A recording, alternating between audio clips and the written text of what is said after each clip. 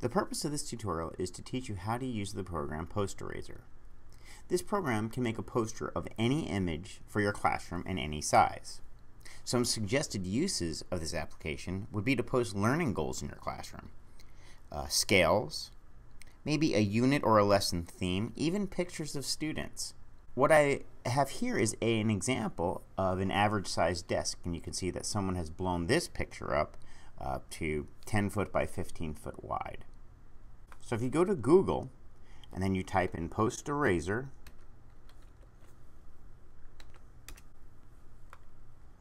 you'll see that the posterazor.sourceforge.net um, is a link. If you click on that, you get to the poster Posterazor site. You go to download. Now it's here that you can utilize the Windows version or the OS 10 version, which is the Mac version.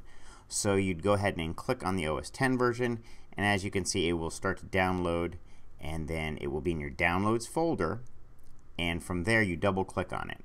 And you, oh, don't forget to click keep, as you can see at the bottom left hand corner. Okay, uh, it'll be in a .dmg format if you click the arrow and you click open and then that will start the, the install process. It's at that point where the program will be located in your applications folder.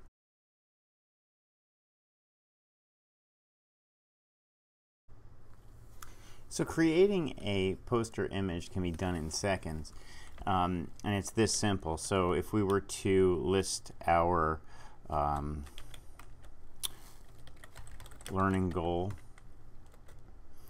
for the week, uh, you can open up a Word document, type in the message that you wanted, and it's actually as simple as, and you know, from here you can um, make your bullets.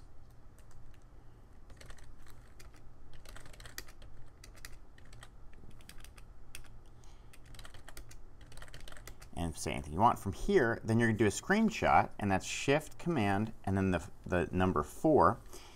And then you can drag and let go, and it will be saved as a PNG on your desktop. And this is, again, for Mac. So at that point, you would open up your uh, Posterazor program. And for that, you can open it up in your applications folder and where it says posterazor.app. is the application. Okay, so from here, what you're going to want to do is upload the photo or the image and you can either click on the folder or in this case we can just put in the um, uh, drag and drop a picture from our desktop. In this case it's the Pasco County logo. So you can leave everything the same and then you click next and then from here it's going to print it out in portrait or landscape and that's kind of self-explanatory. Remember to make these posters it's simply printing out on, on your, your printer paper. And um, you would leave your borders and everything exactly like it is. Click Next. Now, these spaces here, um, what that does is it allows you to have a reference point for if you wanted to glue the image as one solid image or if you want to have spaces in between them. And I'll show you the differences. For now, we'll leave it exactly like that. I'm going to click Next. Now from here you can see that the number of pages in the width is 6. That's huge. It's 6 pages wide. So if you just want to make it 4 pages wide and tape them all together, there you have it. Okay, so from there you'd click Next. From here you can click Save Poster and it, you can save it where you want to. It's going to save it as a PDF. From that point you open up your PDF and you click Print.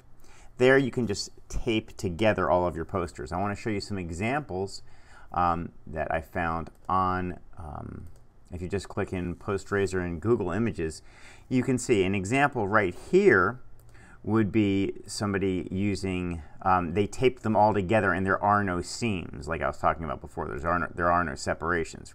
On this one right here, you can tell that there is some separation, and it's more of an aesthetic um, preference.